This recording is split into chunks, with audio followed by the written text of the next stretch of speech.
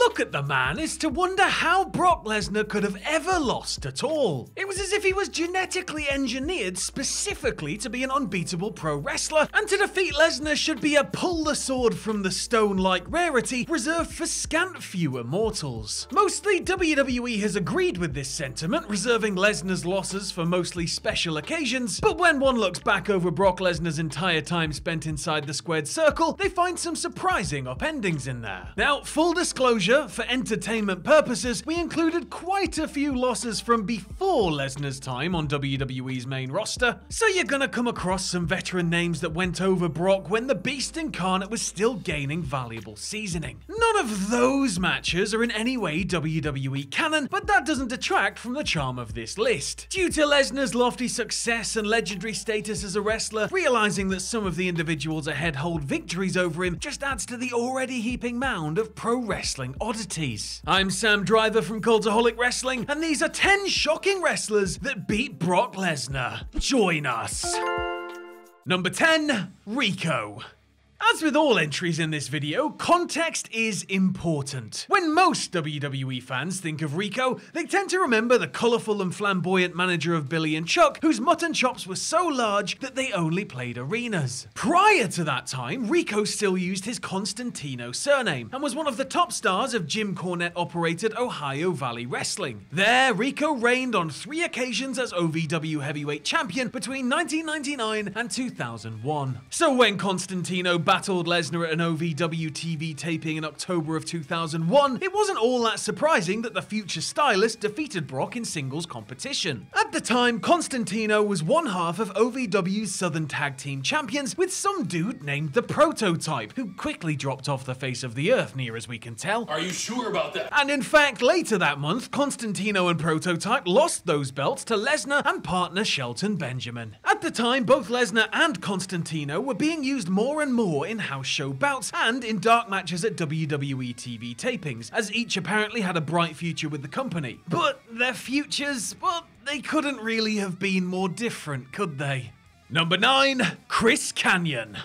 Allow us to dust off our best Dennis Hopper impersonation and fire off an aggressive pop quiz hotshot. Who was the very first individual to defeat Brock Lesnar in a singles match at a main roster WWE event? On, you got five seconds, five seconds. This one's really hard, guys. No Googling. You are not gonna believe who it is. We'll have something to say about the more widely recognizable answer to that question later. But then what's the technical answer? Well, you'd have to go back to Saturday, October 20th, 2001. One day before the then WWF broadcast their No Mercy pay per view from St. Louis. It was 125 miles west in Columbia, Missouri, before less than 3,000 fans in the fourth match of a mostly throwaway house show that Lesnar took the fall to former Alliance MVP Chris Kanyon, falling victim to Kanyon's flatliner. At the time, Kanyon was slipping down the Alliance's depth chart, particularly as more WWF defectors overrode the genuine WCW hires, so this wasn't exactly a white hot name felling Lesnar. In all likelihood, Lesnar losing was probably a test designed to see if he'd put up any resistance to being asked to lose. After all, Lesnar wasn't going to be debuting on WWF television until after WrestleMania the following spring, and it's not like mobile phone footage of house shows was all that prevalent in 2001, so it was hardly a costly defeat. Number 8, Billy Gunn. The Billy Gunn Facts account on Twitter speaks boldly and confidently about all things Lord and Master Monty Sopp, because they understand the power that lies within the 1999 King of the Ring. Among the many distinctions that Billy Gunn can lay claim to, perhaps none is more impressive than having a victory over Lesnar to his credit. It may sound preposterous to you, the Billy Gunn denier, and actually, yeah, that's actually, yeah, that's wrong. Billy Gunn doesn't hold a victory over Brock Lesnar. He holds two victories over Brock Lesnar. Yeah!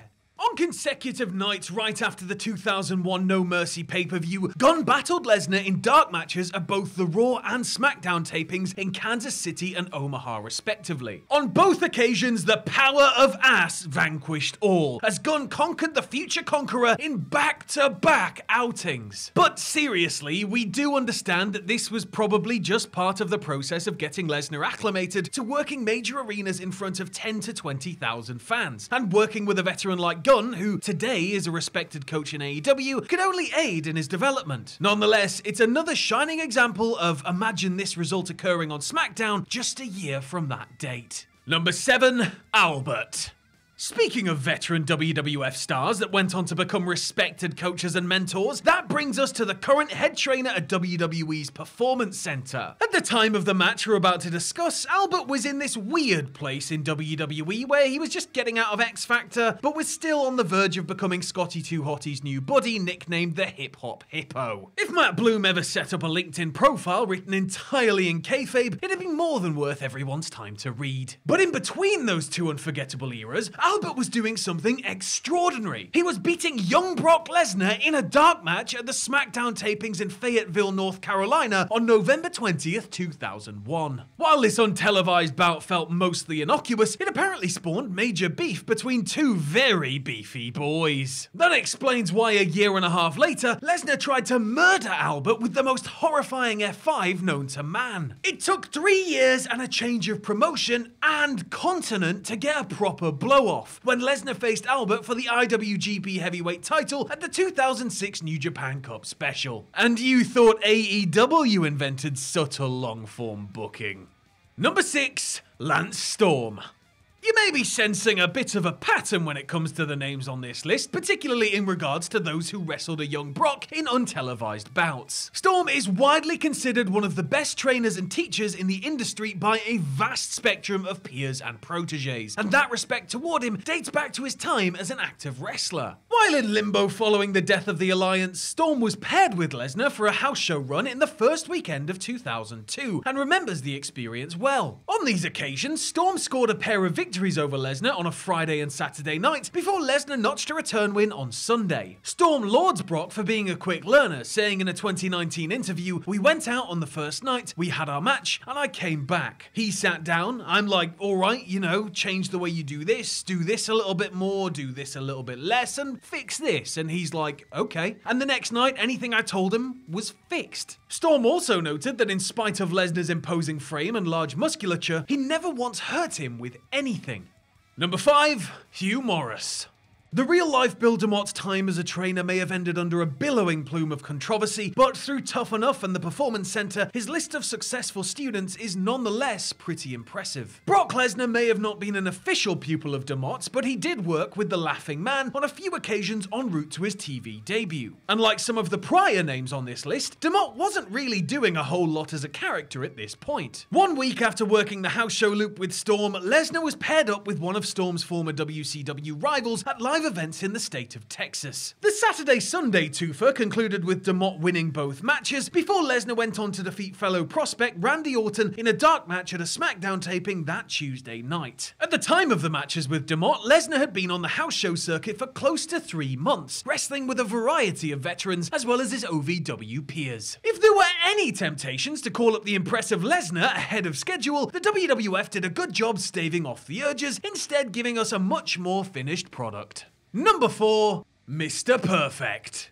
Curt Hennig's final WWE tenure came to an end following the so-called plane ride from hell, as his part in the fiasco involved competitively jostling with Lesnar on board the beleaguered flight. That said, Lesnar cherished Hennig, holding his fellow Minnesotan in very high regard. In fact, Hennig had a hand in training Lesnar and gave him a piece of advice that Brock holds dear. Get in to get out. In other words, don't become a statistic in what can be a cold business. In his memoirs, Lesnar lamented the fact that Hennig didn't exactly follow his own advice, though. Nonetheless, Hennig was a vital part of Lesnar's development and was apparently the man who had talked him out of using the shooting star press as a regular finish, saying that it wasn't worth the risk. He also wrestled Brock three times in early 2002, going over in all three dark matches. Unfortunately, Hennig's brief and unexpected renaissance with the promotion didn't really do much to recapture the old Mr. Perfect magic. A proper match pitting 1990 Mr. Perfect against 2003 Brock Lesnar would have been a sight to see, especially giving Hennig's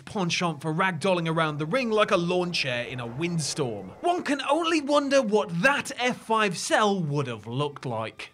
Number 3, Bradshaw.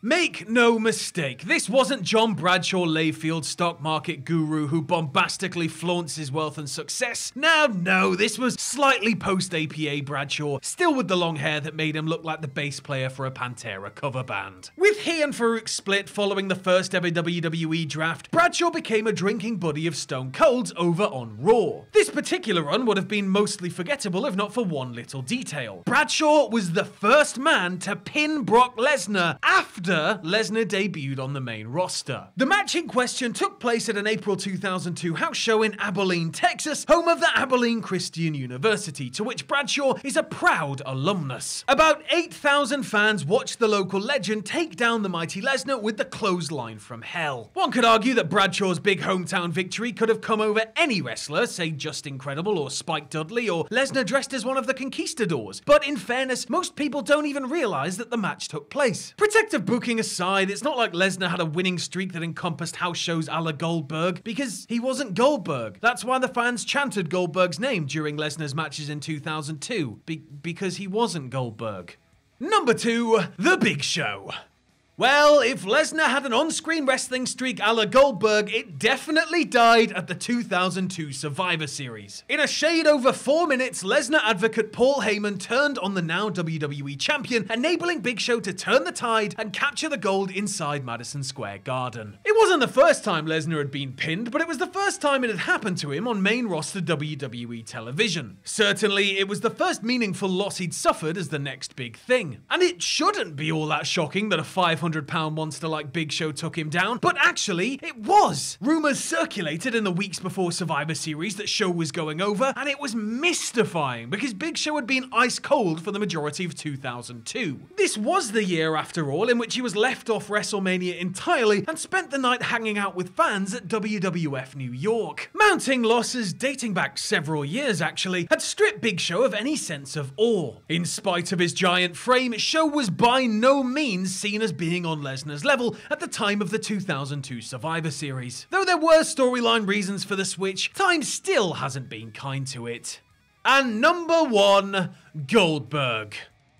Really, pick one. When Bill Goldberg signed a one year deal with WWE in 2003, it became somewhat apparent as time went on that he wasn't likely to re up with the company long term. When The Man was positioned as Lesnar's opponent for WrestleMania 20, it seemed like an easy win for company back Brock. Until an annoyed Lesnar announced that he was quitting too, making for quite the lame duck WrestleMania battle. Still, given a choice between the two, you'd figure WWE would have Brock go over since he's one of their homegrowns. More than 12 years later, Goldberg returned for another go round, and immediately renewed old hostilities with his fellow heavyweight machine. The two were lined up for the 2016 Survivor Series, and it looked for all the world like Lesnar was going to get a revenge win. And that was the plan, until WWE, motivated by the strong TV numbers Goldberg's return had done, hashed out a longer term deal with the former WCW star. The new plan entailed having Goldberg annihilate an arrogant Lesnar in 90 seconds to set the stage for later conflicts. Nobody watching knew the plan at the time, so when Lesnar stayed down for the jackhammer, well, colour us shocked.